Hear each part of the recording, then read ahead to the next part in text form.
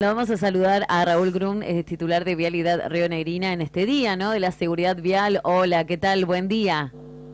Bueno, buen día y un gusto en saludarlos a, ustedes, a toda la audiencia y a la gente que está este, seguramente con ustedes hablando de seguridad vial. Tal cual, ¿no? Estábamos recién, pero viste una pregunta, sí, ¿cuál es? Uno se va más de a uno que, que rinde, nada, estudia un poquito para, para el examen y después ya un poco capaz que no cumple. Pasa mucho de eso, ¿no?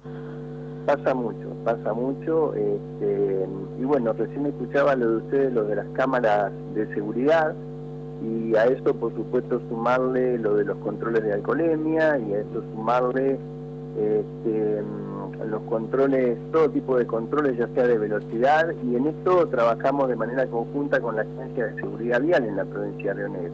Para eso existe la Agencia de Seguridad Vial y nosotros de vialidad también en el control de pesos y dimensiones, este, que es el otro elemento que repercute muchísimo en esto de, bueno, de las rutas deformadas, de este, la complicación que tiene el tránsito de camiones, este, sobre todo en horas pico y en lugares tan transitados como ser como el Alto Valle este, de Río Negro. Claro, tenemos mucha cantidad de vehículos, ¿no? Sí, sí, mucha, mucha. Este, Así que bueno, todos estos elementos hacen, o todas estas, eh, estas decisiones ¿no? que se van tomando en cuanto al control, eh, eh, con cámaras, con alcoholímetros, con control de pesos, hacen a la seguridad vial. Y, por ejemplo, el tema de mm, Río Negro ha sido una de las pioneras este, en el alcohol cero al conducir, desde el 2017, la ley este, de Río Negro, y em, creo que, si no me equivoco, menos de la mitad de las provincias argentinas tienen sancionada la ley. Si bien la Nación en el 2023 también sancionó una ley similar, es, que para rutas nacionales rige en todo el país, pero Río Negro a la cabeza, yo recuerdo que también hace muchos años, este, yo en ese momento trabajaba como asesor en la legislatura, este, a principios de, de los 2000 se sancionó la ley de obligatoriedad de llevar las luces bajas encendidas, otra ah, medida que tiene muchísimo que ver con la seguridad vial. Sí. Sí, sí. O sea, se van eh, cambiando, eh, a veces uno cree, bueno, por ejemplo, pasa en Neuquén o pasa acá también con el tema de, de los famosos radares, ¿no? De velocidad, que es más recaudatorio, pero está funcionando eso, bueno, con la idea de, bueno, listo, como somos hijos del rigor, en cierto modo, si no nos multa, medio como que no cumplimos a veces, ¿no? Lo que la normativa, ¿no? Y sí, es difícil por ahí establecer, em, digo, está bajando. Bueno, es difícil porque el tránsito por distintos motivos aumenta. O sea, eh, uno dice por suerte aumenta el turismo, por suerte aumenta el movimiento de vaca muerta, las bateas con arena silicia este, de Río Negro, eh, bueno, todo esto, todo el aumento del turismo, la producción, etcétera, eh, hace que aumente el tránsito. Pero bueno, por eso es muy difícil por ahí decir si porcentualmente bajó el nivel de accidentología, pero seguramente todas estas medidas este, que estamos mencionando apuntan a, bueno, a la prevención y a que tratar de que baje, porque lamentablemente es una de las causas de, mayor cantidad de muertos, claro. Sí, y ahora el tema, bueno, hablabas de los camiones, ¿no? Eh, es impresionante, bueno, nosotros lo vemos demasiado, ¿no? Ruta 151, ruta 22 y otra al que se ha vuelto, que es una ruta provincial, la ruta 65, acá la conocemos como la famosa ruta chica, cómo cambió toda la dinámica, ¿no? A medida de que fueron los camiones y, bueno, y la interminable ruta 22, por supuesto, ¿no? Sí, sí, pero la última década, sobre todo el, tránsito de la ruta chica y de la ruta 6 en el tramo este, próximo a General Roca, digamos, desde el sur hacia General Roca hay unos 40, 50 kilómetros pasando por Paso Córdoba, este, que también ha cambiado totalmente porque, bueno, son rutas que tenían muy, muy bajo tránsito y actualmente circulan eh, en algunos casos 500, 400, 600 bateas este, que transportan áridos o arenas este, por día, así que hay un cambio importante.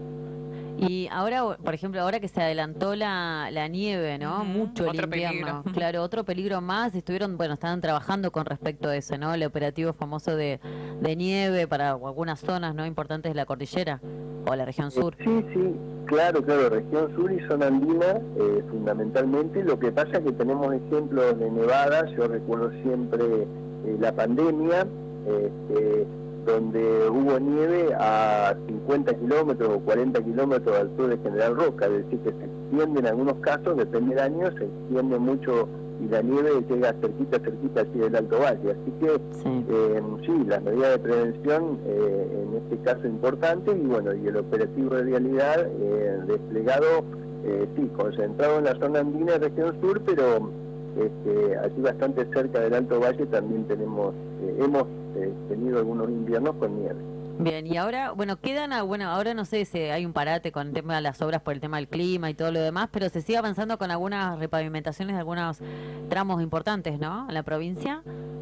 Eh, nosotros lo que estamos haciendo puntualmente son trabajos de mantenimiento en la ruta 6, que mencionaba anteriormente, al sur de, General Roca, y como obra importante estamos haciendo la reconstrucción de un puente que el año pasado una lluvia torrencial, una lluvia muy importante, provocó la crecida del río Chico a la altura justamente de la localidad de Río Chico para que podamos entenderlo, es este, al sur de Ingeniero Jacobaccio, o sea, al sur de la ruta 23, este, hay una ruta provincial de Ripio que llega hasta Ñorquinco este, y hasta el Bolsón luego, eh, bueno, que transita distintas localidades y una de esas es Río Chico y ahí estamos trabajando en la reconstrucción de un puente, esa sería la obra más importante que está haciendo Vialidad en este momento, y después, bueno, con tareas de, mantenimiento en distintas rutas este, afectadas al operativo, eh, como las que mencionaba anteriormente.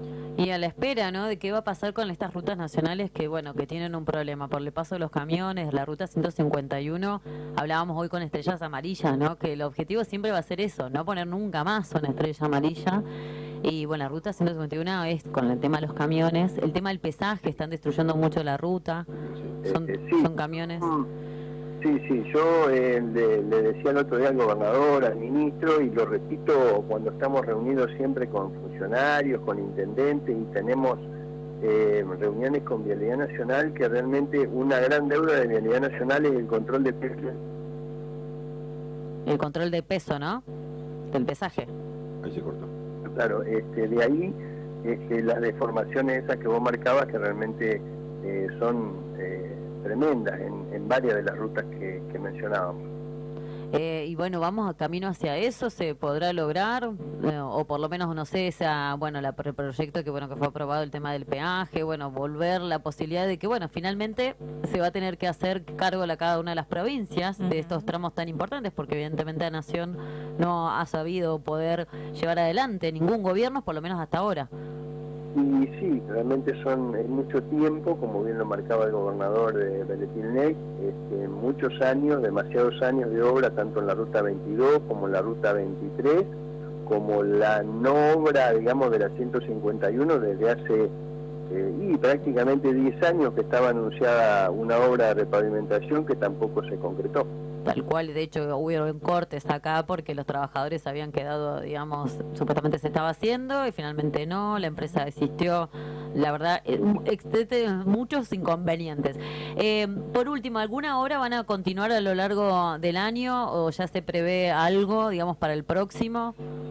Eh, no, sí, sí, eh, para el próximo sí estamos trabajando en varios proyectos y bueno, eh, son las obras viales son siempre de montos importantes y estamos trabajando en la adjudicación conjuntamente con la UPTEFE, que es la unidad ejecutora provincial para lo que es financiamiento externo, justamente en la, en la repavimentación perdón, de la ruta 6 desde la rotonda con la 22 hasta el empalme eh, en un lugar que se llama La Esperanza. Son 180 kilómetros de una obra que, está próxima, a adjudicarse. Así que sería una muy buena noticia poder comenzarla dentro de este año o a lo sumo a principios del año que viene. Bueno, muy bien. Estamos complicado tema obras públicas en todo el país, así que, eh, digamos, cuesta un montón. Bueno, eh, en este día importante para que tomemos conciencia, por lo menos, ¿no? Que no mm, tengamos tantos siniestros viales, estos antes llamados accidentes, por eso siempre nos dijeron, no, son siniestros viales, obviamente. Esperemos que no, que empiece a bajar, ¿no? La cantidad que haya en nuestras rutas. Sí, por supuesto, tremendo en sus consecuencias, así que hoy más que nunca es un día de reflexión. Este, así, así que esperemos que, se puedan ver los resultados. Este, bueno, si bien por ahí son odiosas las estadísticas, por lo que yo decía que es muy difícil medir, eh, digamos, si aumentaron o no aumentaron, porque, porque el tránsito es variable, pero sería deseable que eh, la cantidad de accidentes en números se reduzcan. Eso sería lo más importante. Tal cual. Muchísimas gracias, Raúl. Bueno, gracias a ustedes y hasta cualquier momento.